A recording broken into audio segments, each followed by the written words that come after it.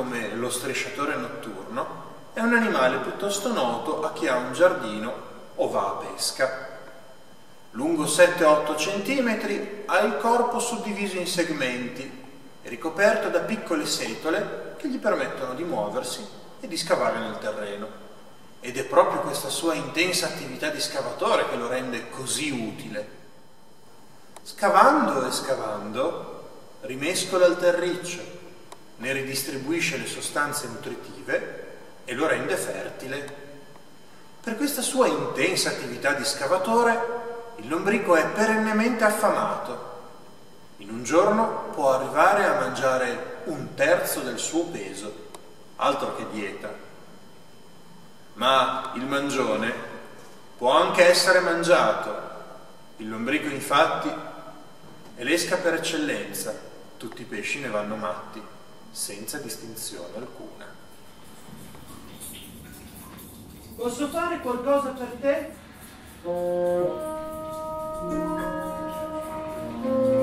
Mangiami, ogni fine alla mia agonia.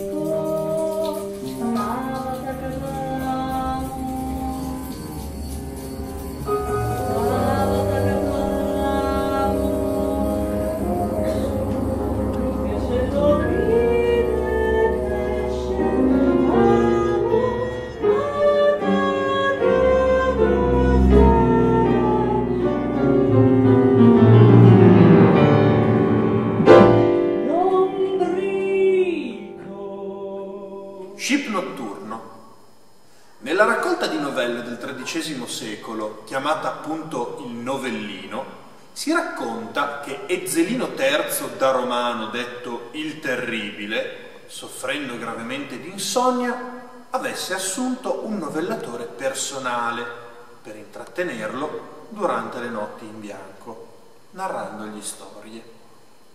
Purtroppo però il novellatore a differenza del padrone, aveva sempre un sonno tremendo.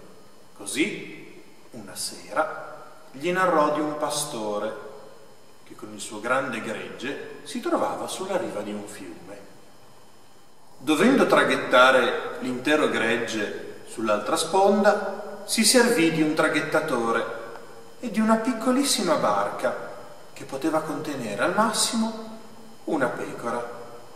Il traghettatore caricò la prima pecora e la scaricò sulla riva opposta.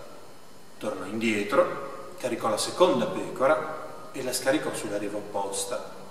Tornò indietro, caricò la terza pecora e all'improvviso il novellatore tacque. E Zelino spazientito lo sollecitò a continuare, ma lui, serissimo, rispose, Signore, dobbiamo prima farle passare tutte. Il terribile, miracolosamente, si mise a ridere e per quella sera il novellatore poté finalmente andare a dormire a un'ora decente. Una pecora, due pecore, tre pecore, quattro pecore.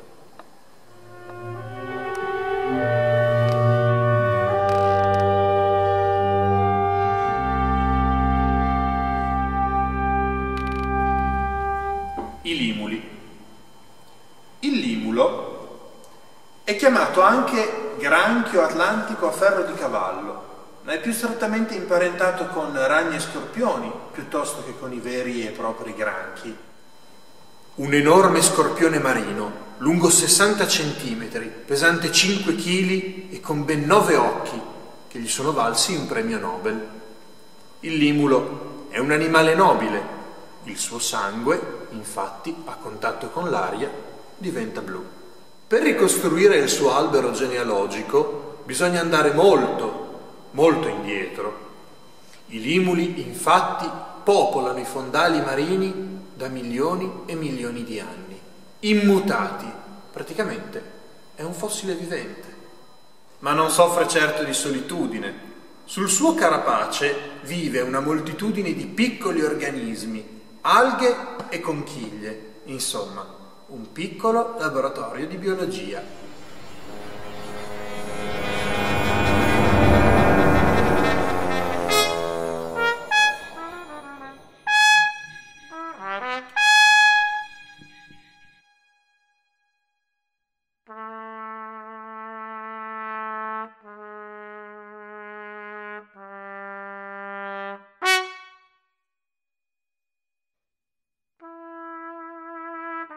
Il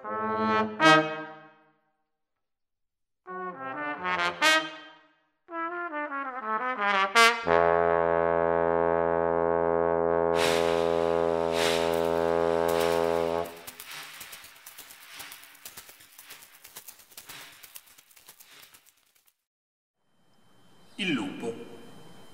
Chi ha paura del lupo? Di certo tutti i personaggi delle favole, i tre porcellini, Cappuccetto Rosso e l'agnello di Esopo. Fin dall'antichità il lupo è stato considerato un animale feroce e ostile e per questo cacciato. Nell'Ottocento Carlo Magno istituì una guardia armata per la caccia al lupo. E qual è il risultato? Che il lupo oggi è quasi del tutto estinto.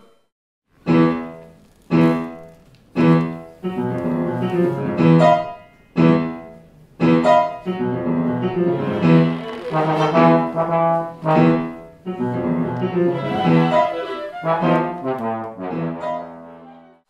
capra. La capra è uno dei primi animali a essere stato addomesticato. Nonostante l'ingrato stereotipo stupido come una capra, è intelligente, è curiosa e si adatta a qualsiasi condizione di allevamento. Le capre parlano il dialetto. Ogni capra, dalla più tenera età, impara l'accento del gruppo di appartenenza. E se una capra viene messa in un altro gruppo, beh, ci possono essere delle incomprensioni. Una cosa che alcune capre non hanno invece imparato a fare è gestire la paura. A causa di una disfunzione genetica, se spaventate, si accasciano al suolo a gambe dritte. Per fortuna dura solo pochi secondi e poi ritornano in piedi.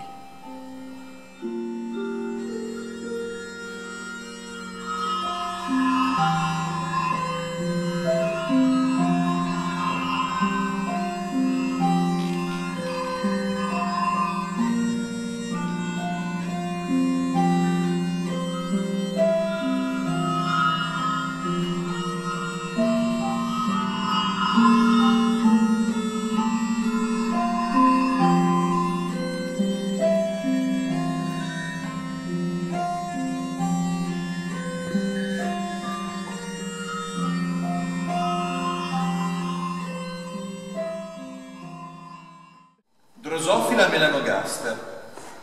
La drosofila è un insetto di piccole dimensioni, più comunemente noto come moscerino della frutta.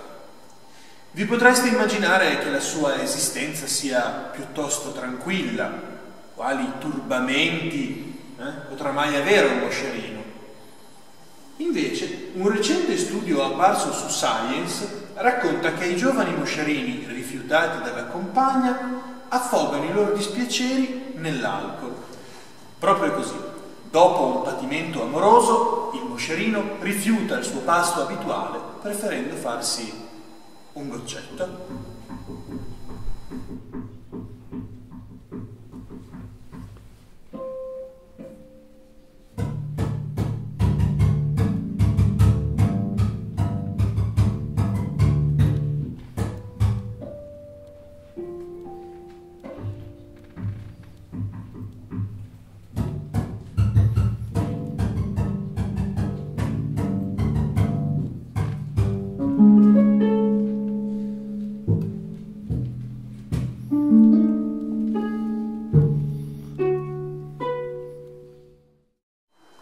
La medusa. La medusa si è evoluta per la vita di mare, al punto stesso che il suo corpo è composto dal 98% di acqua. Praticamente la medusa stessa è parte del mare, acqua di mare organizzata. Quando con la sua forma soffice fluttua nelle correnti, emana un fascino ipnotico.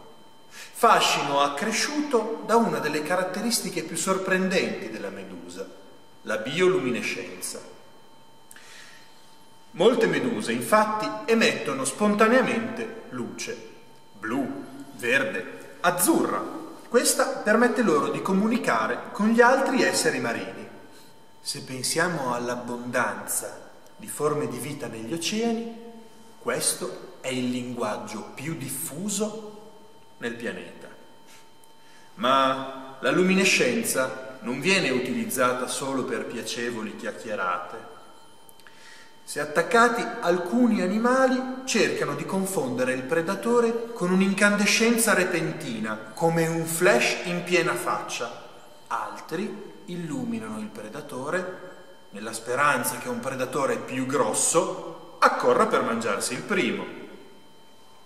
Il più tremulo bagliore di un attimo nel buio marino può significare la vita o la morte.